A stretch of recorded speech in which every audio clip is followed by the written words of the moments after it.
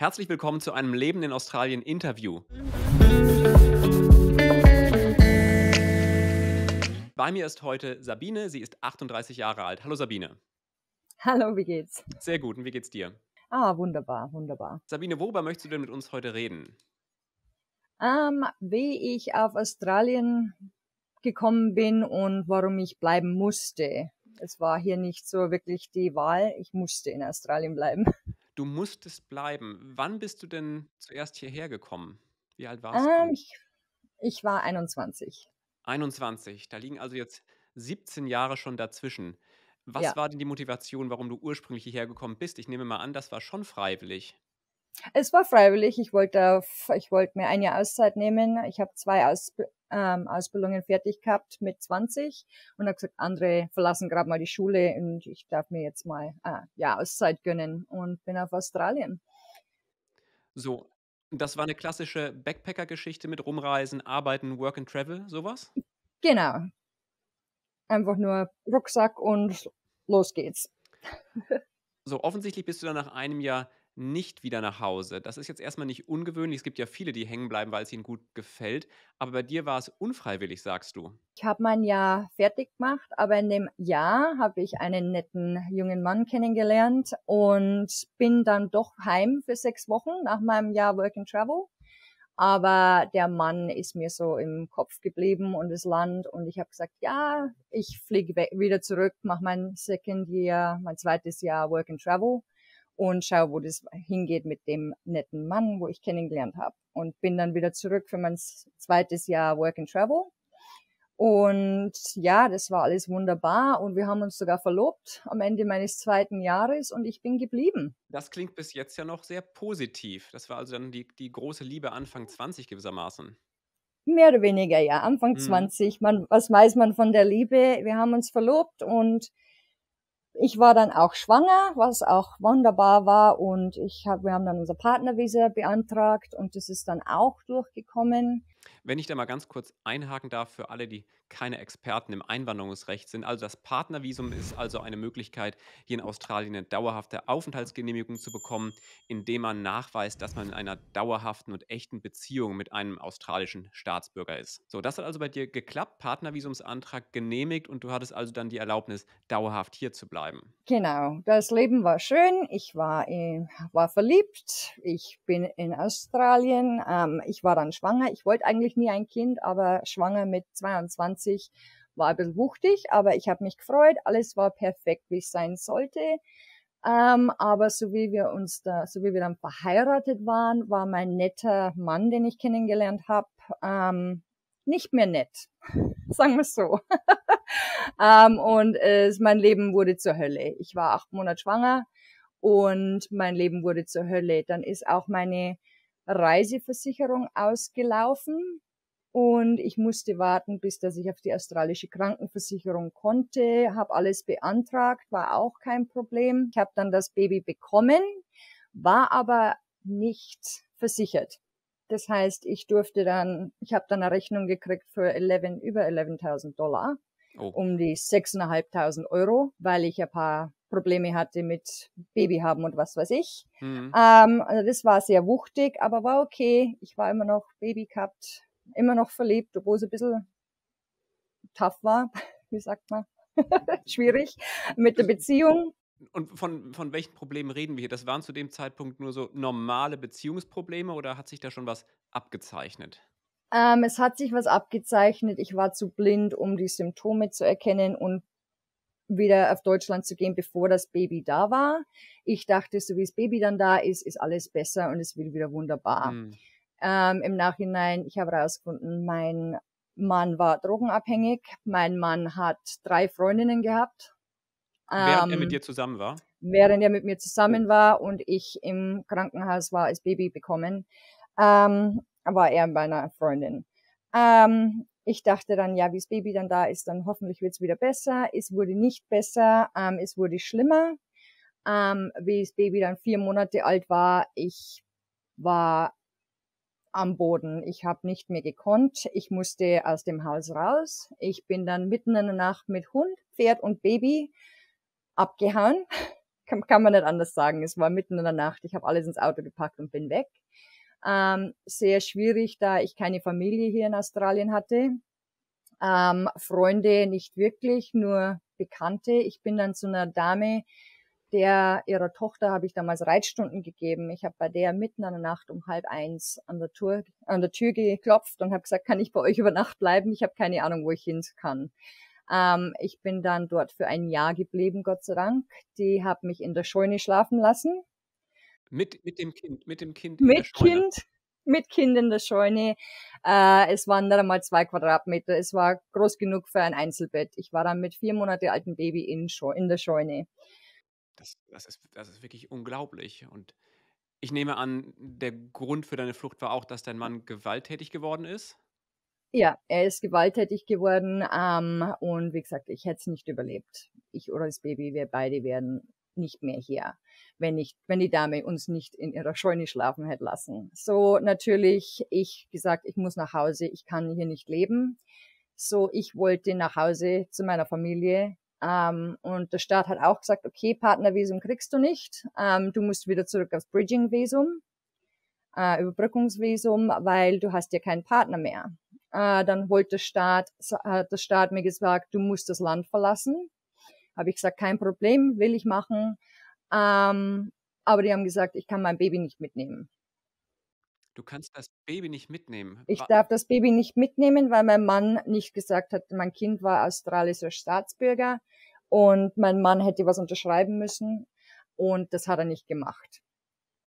Das heißt, obwohl er de facto hoch, dich hochgradig missbraucht, hat er da trotzdem da nicht das Einverständnis gegeben, dass du da in Frieden mit dem Kind ziehst. Ja, weil es war sein Sohn und er musste unbedingt, er dachte, wenn ihr mir keine Erlaubnis gibt, komme ich zurück. Und bin ich nicht.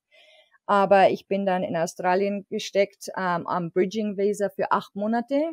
Mhm. Und mit dem Überbrückungsvisa, du hast keine Krankenversicherung, du hast kein Recht zu arbeiten. Das heißt, ich durfte nicht mal Arbeit finden. Ich habe kein Arbeitslosengeld gekriegt, kein Kindergeld, da ich ja eigentlich nicht in Australien sein sollte, durfte. Das war ein bisschen, das hat acht Monate gedauert, bis dass sie dann gesagt haben, okay, du kriegst ähm, Residency, du kriegst ein anderes Visum. Ich weiß gar nicht, was Visa, Permanent Residence Visa haben sie mich dann drauf nach acht Monaten. Das heißt, ich konnte endlich Kranken mal wieder zum Doktor gehen, ohne dass es mhm. mir einen Haufen Geld kostet. Ähm, aber ja, das war extrem. Hatte der, hatte der leibliche Vater in der Zeit mal Kontakt mit dem Kind? Nein. Das habe ich mir gedacht. Das heißt, er hat einfach nur blockiert, um dir zu schaden. Exakt, genau. Mhm. Ja. Ja. Ähm, so, das war sehr, ja, harte Zeit. Dann meine Eltern natürlich in Deutschland, ja, du musst kommen, wir zahlen dir die Flüge, wir zahlen dir für einen Reisepass. Ich habe dann Reisepässe, mein Sohn einen Reisepass machen lassen äh, oder ich wollte, konnte ich nicht, weil ich ja die Unterschrift vom Vater brauchte. Das vielleicht auch nochmal als Erklärung für die Zuschauenden. Tatsächlich ist es so, dass man eben in Australien, wenn man ein Kind mit einem australischen Staatsbürger hat, das Kind nicht außerhalb die Grenzen bringen darf. Das heißt, man kann zum Beispiel auch, wenn man geschieden ist und ein Kind hat, nicht in den Urlaub nach Deutschland fahren mit dem Kind, ohne dass der andere Partner zugestimmt hat. Und wenn man es eben doch macht, dann ist das Kindesentführung und das wird auch in Deutschland tatsächlich vollstreckt, kann also einen Riesenhaufen Ärger bedeuten. Genau. So ja, das war so mein Traum und dann, da wir wirklich nur in Urlaub fahren wollten, da ich mein Leben mehr oder weniger wieder auf der Reihe hatte, alleine mit Kind und Hund und Pferd, ähm, wollte ich dann wenigstens mal, dass meine Eltern mein, ihren Enkel sehen. Ähm, ich musste dann vor Gericht gehen und das Ganze beantragen, dass ich in Urlaub fahren darf. Das hat sich dann über fast ein Jahr rausgezogen, ähm, die ganzen Gerichts, das Gerichtsdrama. Und es hat mir über 12.000 Euro in Anwaltskosten mhm. gekostet, dass ich eine Unterschrift vom Vater krieg auf einem Reisepass. Das ist auch was, was viele vielleicht gar nicht auf dem Schirm haben diese hohen juristischen Kosten, die man hier hat, wenn Dinge schiefgehen. In Deutschland ist das ja alles relativ moderat, da hat man vielleicht noch eine Rechtsschutzversicherung und so weiter. Das gibt es ja hier alles nicht. Hier ist man ja bei sowas wirklich vollkommen auf sich allein gestellt. Du sagst, du hast etwa acht Monate in der Scheune gewohnt und dann hast du so langsam wieder eigene Unterkunft gefunden, dann hattest du dein äh, deine Permanent Residency bekommen. Wie war das in der Zeit? Wie, wie, hast du dich da gefühlt? Ich war komplett am Ende. Ich hatte, wie gesagt, ähm, Dame, mit der ich gelebt habe, sie war in äh, 60er, irgendwie, ja, ich glaube 62, wie ich damals einzogen bin. Die hat mit ihrer Enkeltochter gelebt auf ihrem Grundstück ähm, und ich musste dann doch irgendwie finanziell dazu beitragen. Ich habe ihr die ganzen Hausarbeiten gemacht. Ich habe auf ihr Haus, im Garten alles aufgepasst und ich habe versucht, Jobs zu finden, wo man dann Cash in Hand kriegt, also mhm. Schwarzgeld verdienen. Ja. Ähm, aber dann war ich den ganzen Tag weg und dann, bis ich dann wieder daheim war und es hat mir, ich habe kein Geld übrig gehabt. Ähm, ich musste dann andere Wege finden, um Geld zu verdienen. Ähm, bin dann, musste dann Tänzer werden. ähm, wie sagt man das? Ja. Wir, wir reden hier von, von ähm, exotischem Tanz sozusagen. Stripclub. Strippen, ja. ja, okay. okay. Ich habe dann angefangen müssen zu strippen. War ich eigentlich nie, habe ich nie gedacht, dass ich sowas machen werde, habe ich aber dann machen müssen. Mhm. Ähm, am Anfang war es sehr schrecklich für mich im Kopf. Denke mir, ja, ich habe Baby daheim, aber im Nachhinein, ich habe genug Geld verdient, dass ich dann genug Geld sparen konnte. Ähm, und es war perfekt. Tagsüber habe ich mit meinem Kind verbracht. Nachts, die alte Dame hat auf mein Kind aufgepasst, während ich dann arbeiten war. Unglaublich. Also ein Jahr habe ich dann nur zwei, drei Stunden Schlaf am Tag gehabt. Ähm, aber ich habe es geschafft und ja. Also das finde ich auf der einen Seite wirklich sehr schockierend, weil letztendlich warst du ja eine junge Mutter damals, also jemand, der ja. eigentlich erstmal sehr verletzlich oder schutzbedürftig ist und den Schutz auch verdient hat.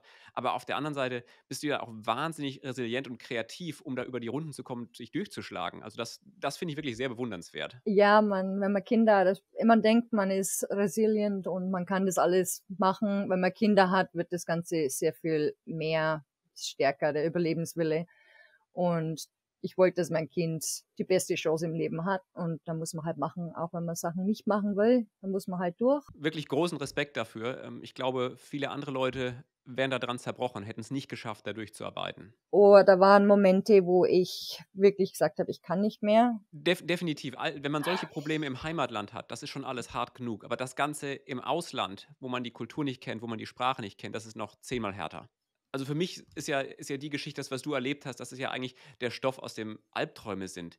Hast du das danach nochmal aufgearbeitet im Rahmen einer Therapie oder sowas? Äh, nein. Hast du tatsächlich ähm, so durchgearbeitet, ganz alleine? Wow. Ich habe das Ganze äh, durchgearbeitet. Wie gesagt, ich habe mein Pferd gehabt, mein Pferd, mein Hund und mein Baby und das waren meine Therapie. Ich bin an einem schlimmen Tag. Ich bin in meine Pferdekoppel mit meinem Kind und bin einfach in der Pferdekoppel gesessen und habe meinem Pferd alle meine Probleme erzählt. Unglaublich. Also ha hammerharte Geschichte, Sabine, wirklich. Und nochmal meinen großen Respekt, wie du das geschafft hast und wie du da ja überlebt hast, muss man ja schon sagen. Ja, es war wirklich, es war tragisch. Also ich bin damals, ich weiß noch, ich bin damals aufgewacht an dem Tag, das war 4. Juli Amerika sagen, Independence Day. Mhm. 4. Juli in der Früh bin ich aufgewacht und keine Ahnung, wo mein Mann damals war und mein Baby hat geweint im Bett drin und ich bin aufgewacht und ich war so fertig mit der Welt. Ich bin aufgestanden, ich habe mir einen Kaffee gemacht und habe dann gesagt, nein, ich kann nicht mehr. Ich hab, bin dann in die Scheune, habe einen Hammer geholt und ich habe mir ein Messer daneben hingelegt. Ich habe gesagt, ich werde jetzt mein Kind umbringen, werde mich umbringen das war damals, wo ich, wo ich war, wie ich meinem Kind vier Monate alt war. Ich bin dann in sein Zimmer rein, habe ihn angeschaut und habe gesagt, nein, das Kind, das, ja, ich habe das Kind in die Welt gesetzt, das verdient alles und das Leben hier will ich nicht fürs Kind und ich werde es versuchen und ich werde, wenn ich dran kaputt gehe. Das heißt, ich habe meine Koffer gepackt und in der Nacht bin ich dann abgehauen. Ähm, geflüchtet, mehr oder weniger vor ihm, weil ich gesagt habe, ich will nicht so fühlen, dass ich nicht mehr kann und mein Kind nicht mehr kann. Das war wirklich, ja, das war, das, ich glaube, der schlimmste Tag meines Lebens, wo ich da gestanden bin, wirklich vor meinem Kind sein Bett und habe gesagt, nee, ich kann das nicht machen. Ich, das, ich habe da was in die Welt gesetzt und das Kind, das verdient die Welt und er ist mein Sonnenschein und er ist ein wunderbarer junger Mann mittlerweile. Ähm, und ich bin so stolz auf ihn und ich bin so glücklich und dankbar jeden Tag, dass ich damals stark genug war, dass ich aus der Situation flüchten konnte. Ja, absoluter ähm, Wahnsinn. Absoluter Wahnsinn. Und jetzt sind fast 20 Jahre vergangen. Du hast es schon angedeutet. Es geht dir heute gut? oh, heute geht's mir gut. Ich habe einen neuen Mann gefunden, der nett ist keine Drogen nimmt. und ähm, ja, nein, und ich habe ein zweites Kind gehabt. Da war ein riesen Unterschied, Altersunterschiede meine Kinder, weil ich gesagt habe, ich werde keine Kinder mehr haben, ich werde mich nie wieder in, die, in diese Situation reinversetzen. Aber ich habe, ja, nein, mein Mann ist wunderbar. Ich, wir haben unser Leben aufgebaut.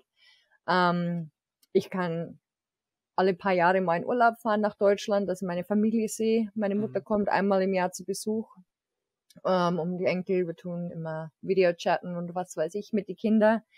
So, und wir haben ein Haus gekauft. Ich habe immer noch mein Pferd. ähm, das, das, gleiche Pferd wie damals? Das gleiche Pferd. Ich habe damals das Pferd, ähm, der war sechs Monate alt, wie ich ihn gekriegt habe. Der war ja. ich schwanger mit meinem Sohn. Und das Pferd ist mit mir durch die Hölle. Und das Pferd habe ich immer noch. Mhm.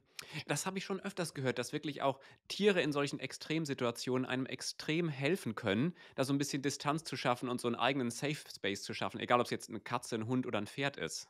Ja, definitiv. Definitiv. Ähm, ja. Also es freut mich wahnsinnig, dass du aus diesem Loch wieder rausgekommen bist. Das ist echt eine extreme Geschichte. Das ja. ist wirklich was, das, das wünscht man seinem ärgsten Feind nicht. Ja, manchmal liest man so in Australien-Foren darüber, dass ja das Partnervisum das einfachste ist, die einfachste Option, um hier Australien Fuß zu fassen, weil man sich den ganzen Prozess mit der Qualifikationsanerkennung spart und so weiter. Aber Geschichten wie deine zeigen eigentlich, dass das mitunter die riskanteste Art und Weise ist, sich hier dauerhaft zu etablieren, nicht wahr? Es ist sehr riskant. Ähm, mit wie sagt mal, du hast die anderen, wo du die Studentenvisas hast oder die Sponsorship-Visas, ähm, da hast du wenigstens was, okay, das hängt nur von dir ab. Mit dem Partnervisa, mhm. es ist sehr, sehr, es hängt an beiden ab. Manche Mädels finden dann, okay, ich muss da einfach mal durch. Ja, dann haut er mir halt eine drüber, das ist okay, weil ich darf dann im Land bleiben. Es ist es nicht wert. Mhm. Es ist definitiv nicht wert. Da kommt man lieber in Urlaub oder zieht man woanders hin, wo es schön warm ist, aber es ist nicht wert, ja. dass man sich vor irgendjemanden anschreien oder verprügeln lassen muss. Sabine, nochmal ganz vielen Dank, dass du dich hier bei mir gemeldet hast, dass du so offen über das alles gesprochen hast. Eine harte ja. Geschichte. Ich freue mich sehr, dass es dir gut geht und ich wünsche dir auch weiterhin alles Gute im Leben. Dankeschön, dir auch. Ja, vielen Dank. Tschüss. Wunderbar. Tschüssi.